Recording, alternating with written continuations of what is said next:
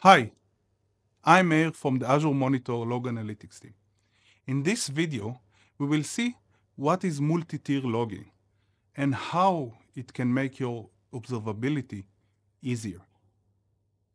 Most organizations have many different needs for logging.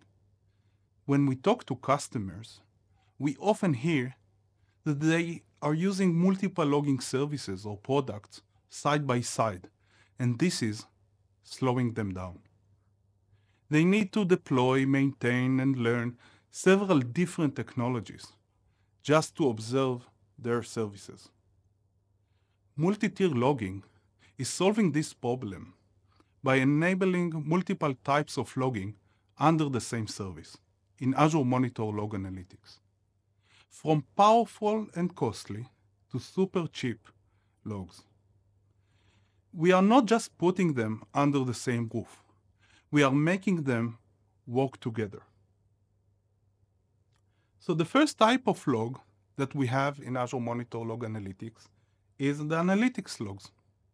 This is powerful logs that allow you to run all the analytics you want, and it's also powering services like application insights, container insights, and many, many more. The next type of logs is basic logs. They are built for medium touch cases. For example, where you troubleshoot application, where you develop an application, or just data you need for incident management. They give you good query capabilities, but not as powerful as the analytics ones. They are, but much cheaper. The third type is auxiliary logs. These logs are low-touch logs. Usually, they are also high verbose logs that you need to ingest for compliancy or just in case something bad happens. Since all of these logs are in Azure Monitor, it means that they have the same query language, same API and integrations, and same admin experiences and tools.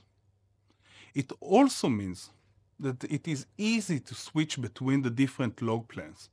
You can start with analytics, and if and then if you want, you can check out basic logs. If it doesn't work for you, you can, can go back to analytics log. You can move back and forth because all of them are under the same roof. So now let's see how all of this is working together. The first part is the common ingestion pipe. All logs are write to the same place using the same APIs, and they are routed to the right table based on the settings that you are making. The decision of which log type is based on tables. But the story doesn't end here. One of the biggest benefits of this architecture is that we can also offer you tools to transfer data when needed. The first one of these is Search Job. It allows you to scan petabytes of data, regardless of how it is stored, and retrieve it into analytics logs. This is useful, for example, if you are asked to fetch all records related to a specific user or address over time. The last tool is summary rules. These rules allow you to generate daily or hourly aggregations on your data. This enables you to ingest large volume of data into basic or auxiliary logs and bring to analytics only the most important things. For example, you can ingest all of your firewall logs as auxiliary logs and create a summary that shows you the hourly addresses that interact with each other.